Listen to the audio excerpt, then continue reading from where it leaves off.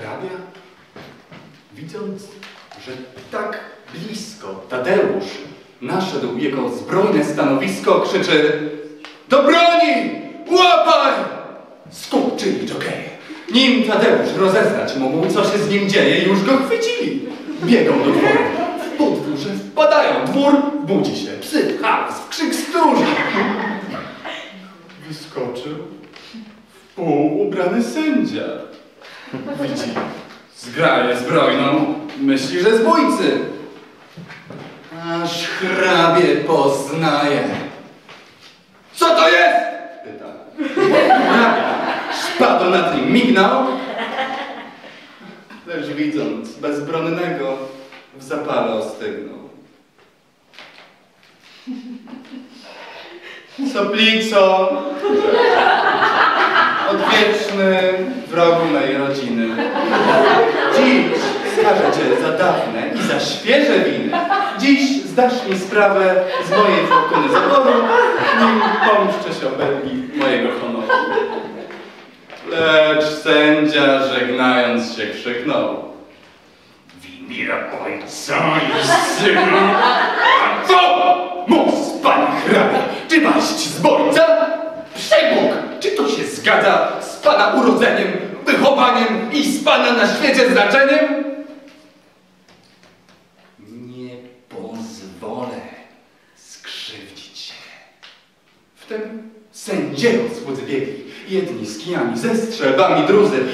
Wojski, stojąc z daleka, poglądał ciekawie w oczy panu hrabiemu, a nóż miał w rękawie. Już mieli zacząć bitwę, lecz sędzia przeszkodził. Próżno było bronić się. Nowy wróg nadchodził. Postrzeżono w olszynie blask, wystrzał różnicy. Most na rzece zahuczał ten, ten, ten konnicy i... Hajże na soplicę!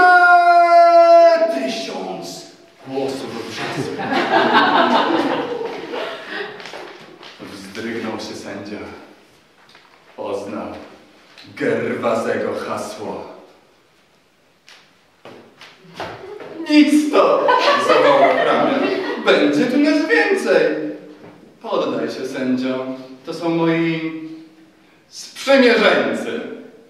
Wtem asesor nadbiegał, krzycząc Areszt kładę w imię imperatorskiej mości! Oddaj szpadę, panie hrabio, bo wezmę wojskowej pomocy.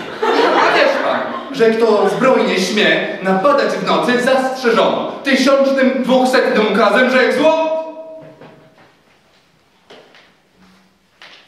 Wtem go hrabia w twarz uderzył płazem.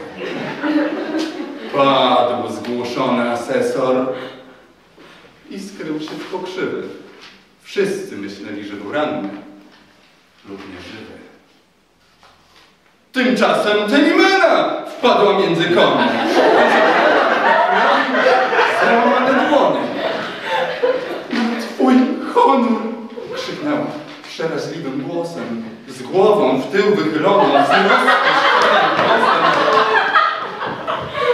Przez wszystko, co jest święte, na klęczkach błagamy. Hrabiu, śmiesz, że odmówić?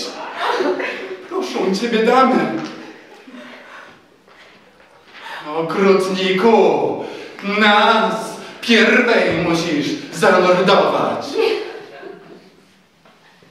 Padła zemdlona.